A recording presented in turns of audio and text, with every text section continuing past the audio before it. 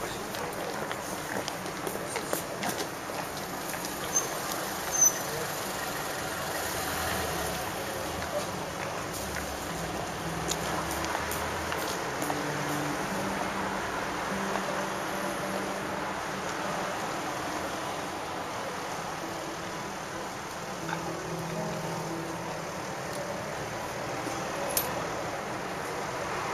えー、周辺の地域の皆さんご通行地の皆さんに訴えています。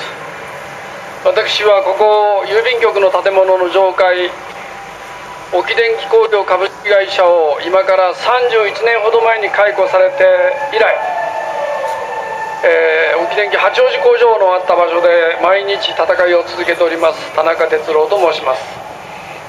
毎月第3金曜日を中心に、えー本店に対しましての抗議場選考を行っています。私の戦いの対象は日本の企業ファシズムと呼ばれる状況であります。企業の中で思想信条を理由とした差別やいじめが行われる。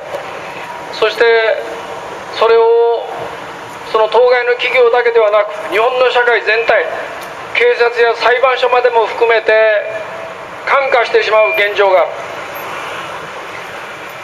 この問題は単に被害者だけの問題ではなく日本の社会に正義感というものが欠落している現状の大きな要因になっているというふうに思うのであります。そして政治家たちもがこの企業と結託することの危険性というものを私は指摘し続けております。先日も東京電力福水域の故障の原因を調査するために原子力規制委員会が調査しようとしたけども建物の中が真っ暗だと嘘をついてそれを妨害した問題になっていました。東京電力はその社員の中の共産党員に対する差別これが事件になった事件なり裁判所がそれを認めたことがあります。こういう体質というのは東京電力だけではない。嘘を平気で社会に対してつく自分たちの利益のためには正義も何もあったもんじゃない。国民の命が奪われるようなことが起きてもそれをやってしまう。そして今度の安倍政権はそういった原発の体質を容認するような姿勢をだんだん取ろうとしております。危険極まりないことであります。また中国との間の緊張が高まっている。先日は中国からレーダーを照射されたということで、えー、尖閣諸島の問題に続いて非常にきな臭い状況になっているわけですけど政治家たちはそういうものを鎮める方向に発言するのではなくて国民を煽る方向に振る舞っているように私には見えてしょうがない。その結果どういうことが起きるかといえば軍事産業にとって非常に都合のいいことが起きるわけです。さあ大変だ。中国に負けるな。朝鮮になめられるな。韓国と張り合え。竹島を取られるな。そういう非常に民族主義的な狭い意味での民族主義的な偏境な敵対心対外心等が盛り上がっていてそしてその結果戦争しようじゃないかみたいなことになってしまうわけです。その結果渡航するのはそういった兵器を作っている企業。戦車や大砲や軍艦だけではなくて半導体にしても何にしても戦争が起きれば起きあるいは起きそうになれば得にするなれる企業というのはたくさんあるわけであって私は今の安倍政権というものはそっちの方向を向いていてあえて緊張が高まる方向に自分たちの振る舞いをやってるように思えてしょうがないわけであります。結局根本にあるのは企業の中での人権侵害の体質というものを認めている社会の在り方だろう。これは非常に国民にとって危険なものである。そういうふうに思います。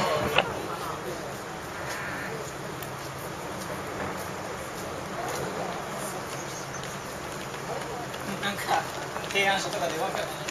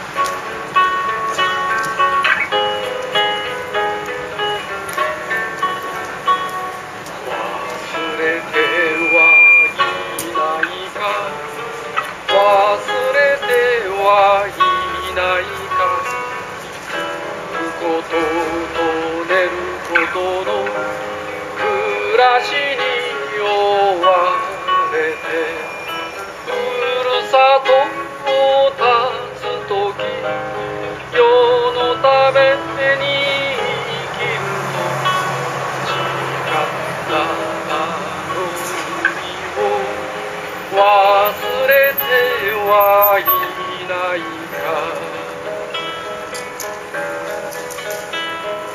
「忘れてはいないか」忘れてはいないか。忘れてはいないか会社のためだと思さえも見捨てた。出向に出されて戻れぬと嘆いても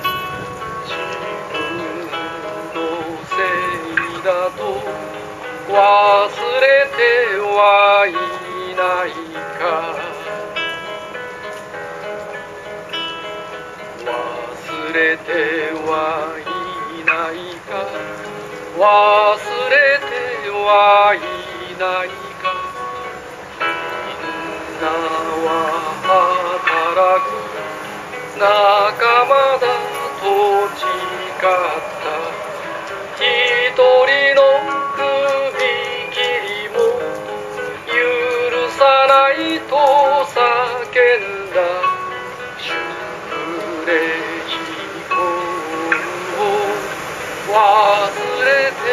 はいないか忘れてはいないか。忘れてはいないか。職場の戦いに。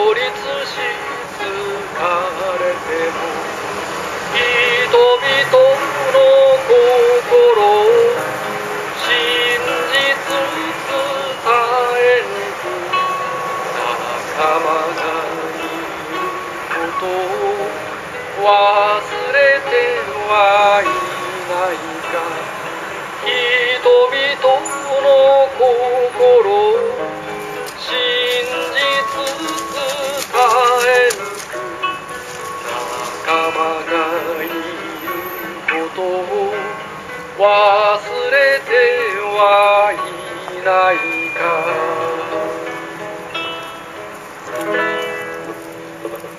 ということで今日はこれぐらいにしておきます。よいしょ。